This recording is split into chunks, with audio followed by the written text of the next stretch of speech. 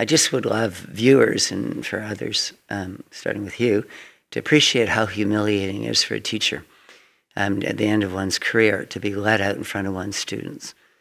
Um, you know, it was they can only do that if I was an immediate harm to the students. That I was considered an immediate harm because I was telling them the truth. Imagine being a history teacher who gets suspended for teaching history. That's what one BC high school teacher claims is his current reality after he dared to let students know historical truths that contradicted the mainstream narrative on what was actually discovered last year at the former Kamloops Indian Residential School. Drea Humphrey here with Rebel News, and you may want to grab yourself a cup of coffee or a cup of kombucha because you're not going to want to miss a minute of this interview with cancel culture's latest victim, Jim McMurtry. Mr. McMurtry, as I'm sure his students call him, is the son of former Ontario MLA and retired Chief Justice of Ontario, Roy McMurtry. The Honorable Roy McMurtry is known for being a social justice and human rights defender to the point that he even received a threatening letter, which he calls a badge of honor, from former Ku Klux Klan head Grand Wizard David Duke back in 1977. The letter was a stop or else warning after members of the Western Guard, an unofficial Toronto based arm of the KKK, were prosecuted for some of their racial violence. While Roy McMurtry's son Jim did take a run for politics like his father when he ran as a Liberal MP candidate, he's made the most of his career instead serving as an award winning educator for nearly 40 years. That was until March 31st of last year when he says, after teachers were asked to discuss the then recent claim that the remains of 215 children were found buried at the former Kamloops Indian Residential School, he was marched out of an Abbotsford high school math class that he was substituting for and promptly put on an eight month suspension. Why? Because the expert in history dared to educate his students on the most common cause of death at the time such schools ran, which is easily verifiable as illnesses, especially tuberculosis. In fact, the disease was so prevalent at the time that just a 20 minute drive away from the former Kamloops Indian Residential School is the Tranquille Sanatorium which was built to treat hundreds of tuberculosis patients and ran as such until the disease was no longer running rampant in the late 1950s. But because that little bit of history doesn't quite align with the prominent false narrative, which is still swarming, which is that 215 murdered children's bodies had been discovered in a mass grave at the school. The Abbotsford School District Dean Mr. McMurtry's comments as inflammatory, inappropriate, insensitive, and contrary to the district's message of condolences and reconciliation. Now, those of you who have watched my Rebel News exclusive documentary called Kamloops The Buried Truth by subscribing at rebelnewsplus.com know that such comments are no such thing. The Tk'emlúps Band government never said they found a mass grave, and to date, not a single body, let alone murdered child's body, has ever been discovered even in a individual unmarked grave at the school's site. Now, listen to this. Just a couple of months ago, a Chilliwack, BC teacher named Lyle Nickel, who allegedly hugged students, kissed one on the forehead, was meeting students outside of school for lunch, drunk texting them, and even telling one of them how much he loves them, was suspended for one month. That's right, one month. Yet you're about to hear Jim's side of the story while he's still off work awaiting the fate of his career since the Abbotsford School District has recommended he be terminated.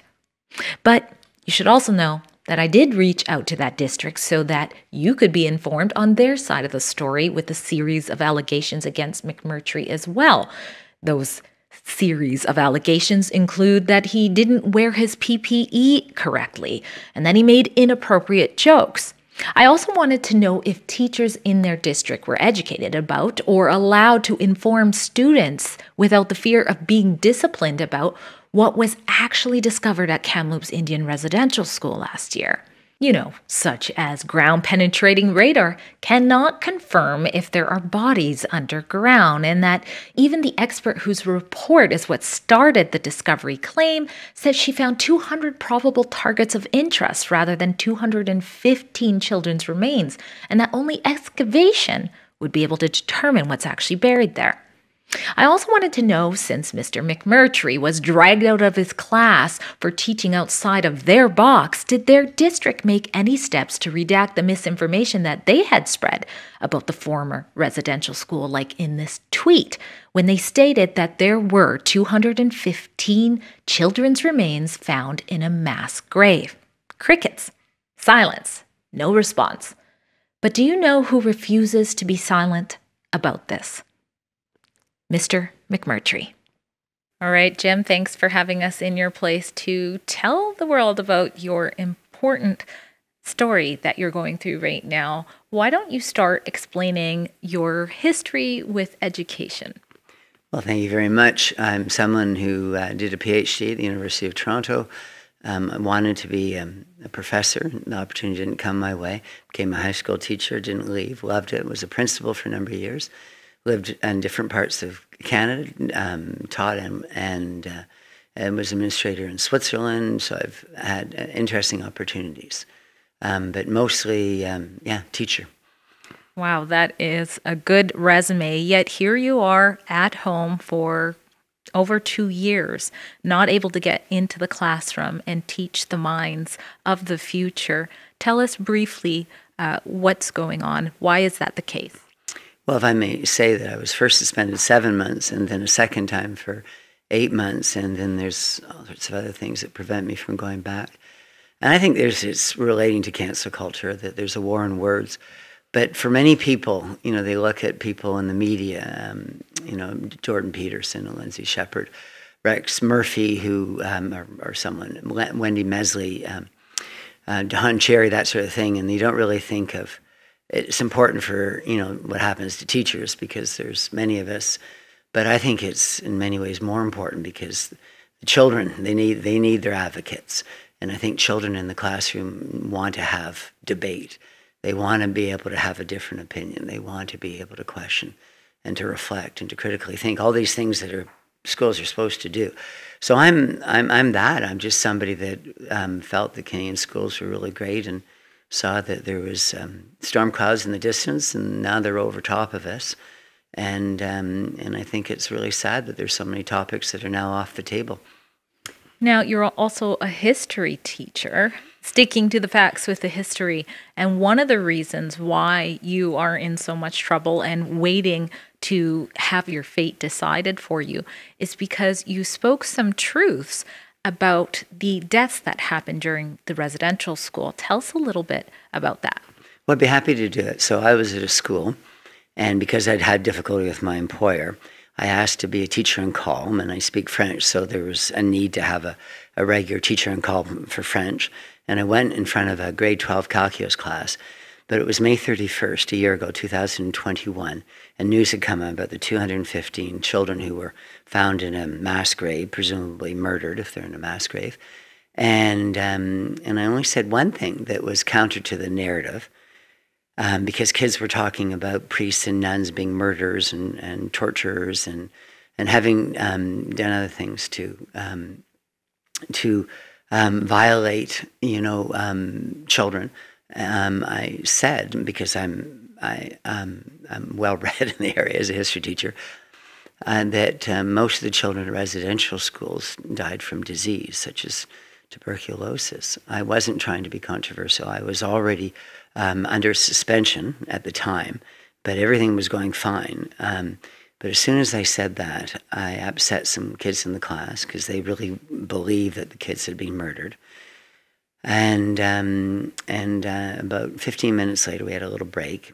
And then at the end of the break, well, I guess one of the girls had gone down and talked to a guidance counselor, and the guidance counselor talked to the principal. And the principal called, talked to my employer, and the employer decided to remove me from the school. So I was walked out. Um, and I didn't really understand why because I thought it had. A, uh, oh, by the way, all the teachers were supposed to at that time, that day, talk about what the news was: the 215 children found in a mass grave. And um, so I didn't know what I had said wrong, even. And uh, it was really, again, that it was off script in that way, that it wasn't disease, it was murder. Now, of course, no one's dug up any graves in Kamloops because people know it's not true. And there were only 51 children um, that ever died while enrolled at the school, and they have the death certificates and they know where they died, mostly in the local hospital or back on the reserve. So the story is complete fabrication, but it's cost me my career. Well, some people watching and hearing what you're saying may also have some of the same feelings that your students had when you spoke some of that. But myself and the BC producer behind the camera, Matt Brevner, do know what you're talking about. In fact, if you go to kamloopsdocumentary.com, you can find a two day investigative documentary that we did together to just show that, you know, after more than a year, there have been no bodies discovered for the claim that was once told to the world that 215 kids were found. Now, that you and I know is controversial, but to actually be suspended for that, why do you think that's happening? Okay, and if I just say, just in anticipation of that, I just would love viewers and for others, um, starting with you, to appreciate how humiliating it is for a teacher um, at the end of one's career to be let out in front of one's students. Um, you know, it was they can only do that if I was an immediate harm to the students. That I was considered an immediate harm because I was telling them the truth. Oh, I think the whole idea behind cancel culture is people uh, use their institutions to um, give attention to themselves. I think people like our prime minister really want to present themselves as the savior of the people um, they want to invent all sorts of things that are really horrible about Canada's past, even though Canada is one of the most extraordinary countries in the world today and certainly back then too. Um, I think it's to it's, it's just um, a way of getting everybody to look at them and pretend that that they're able to right all the wrongs in history. And, and of course, I think they, they make them worse. All they do is, is they create falsehoods and, and blood libels against people who, like the priests and nuns like the Oblate priests and the uh, Sisters of St. Anne who gave their lives over to the children, the Kamloops Reserve School. So the idea that there'd be 215 dead children in a mass grave in Kamloops, when you said it went around the world, it also said that there were bodies found of children as young as three that they haven't even found a grave. So it's just it's the most interesting story. The New York Times, Washington Post, the Times of London, like all these newspapers on the on, on the basis of you know one person saying something that was completely fabulous, you know, would all of a sudden accept as truth. And here I am as a teacher, you know, with a lot of degrees and a lot of experience in the classroom and a lot of publications. Um, nobody believes me, and yet I'm saying things that are you know, established. I would never say to students, I don't want students to think like I do. I would hate that. I, I show them the facts, the established facts, and let them create their own perspective and their own interpretation. It's not my business to tell them how to how to think, but I certainly can help lead them to you know to to a credible account of history, an honest appraisal of history. But that's not what the school system is doing. The school system is is right now is run by people who want to manipulate children, want to get a bunch of converts into this radical, hard left cause of of, of, of creating a society where there's equality between all groups. And, uh, and we can try and raise one group, but to, but another way of doing it, of course, is to lower other groups, and uh, and I just think this is so unfair, and particularly again to the men and women who devoted themselves to educating um, Indigenous youth. Well, certainly division is becoming a norm in society these days, unfortunately. I think it's important for our viewers to know that this isn't your first time, your first brush with controversy. In fact, previously you were found guilty of misconduct, professional misconduct. Maybe speak to that uh, for our viewers. Sure. Now, um, I've only been um, in trouble um, with this new board. So, three years ago, I moved to a new district and the Abbotsford School District, where I um, still technically work, um, they were giving out um, um Bibles up until, um, Gideon Bibles up until 2016. And the reason they were doing that is because it's a Christian community, and presumably they wanted to disseminate the values of the community. And, and, uh, and it's just so it's interesting when I went there and went into the classroom, I was so worried that I that you know I was so careful to do to not to do anything that would in any way inflame local religious opinion. and and yet that has you know that's the thing that's been the saving grace for me, because I think um, what I'm sensing from the religious community in Abbotsford is that they, you know, that they they they they don't want to. Um, they don't want to impugn. They want to lift up. They want to inspire. And it's just so different from what I've experienced. This whole idea of I'm supposed to say, you know, Europeans are terrible and, and uh, all men are terrible and, and all straight people are terrible. And, and, and it's, just, it's just so contrary um, to what my job is. Now, um, so I, I, I haven't been found guilty of professional misconduct ever. And quite, I, have won two teaching awards. Um, but my employer in Abbotsford um, put me on an um, put me um, suspended me and investigated me um, for absolutely nothing. And the union is grieving that. Um, it just hasn't. It's been three years and it still hasn't come up. I think my employer realized it didn't have anything. So they what they do with investigations is they they're not trying to ferret out the truth. They're trying to um, build their case. And so they started a second investigation when I told you that I was I didn't say all these children had been murdered. Um, and that was closed with a recommendation to have me terminated. But I haven't been found guilty of anything. Mm-hmm. I haven't been in front of the um, the British Columbia has a regulation board for called the Teacher Regulation um, branch um, um, for for teachers, and uh, I haven't been in front of them. I, have I've got an appeal waiting, but they're so nervous about me that they went to a second investigation and they went to again a recommendation for for dismissal because they know there's a problem with me. And the problem is that everything I say is right that you don't take advantage of children. You don't lie to children. You don't decide anything for children. You don't push puberty blockers before uh, someone is old enough to decide for him or herself to do something. So so drastic. You don't get into you know, you don't interfere with a parent's relationship with a child. You don't play games and hide secrets from kids. And in, more um, relation to me, you don't denigrate one race or race or group of people to, to raise others. You don't shame white children in the classroom to make non-white children feel better. I, I just it doesn't make any sense to me. If I, I think my goal as a teacher and everybody's goal in the educational world should be to make every kid feel a little bit better about him or herself. You see, I'm not, I'm not, didn't say they, did I? And, and, and you know, these, the pronouns, it's unbelievable. There are teachers in Canada who have been, lost their jobs because they don't want to use the, the, the pronouns. So what's happening is a group of people, it's very, to me, it's very Marxist, communistic, it's very totalitarian, Orwellian, is that they, they want to have everybody, not just employees, but students, use the language of a, of a, of a group of people who are manipulating for their own self interest, for their own um, promotion. Um, into in, into adopting really it's become a cult. I think the whole woke thing, postmodernism, you know, diversity, equity, inclusion, all these lovely words that are the opposite from they mean. You know, war is peace, and it's again, um, it's it's just it's awful. I, um, I, you know, if the fact that they can say I'm guilty of professional misconduct to me is is is nothing but um, laughable because they know that they are guilty themselves. And I think the end result of of this will be that there is going to be an internal investigation of my district and how this can come about. And and and uh, a lot of people say, "Oh, that won't happen because they have all the power." And I say, "No, no, no. I don't think in the end. I think in the end, the kids have the power." It's a weird thing to say, but as a teacher, if you can do anything, you know, in talking about very talk about many different subjects with students, if they like you and see you as a good person, it doesn't matter if you say things that their parents don't like. The parents see you through their children.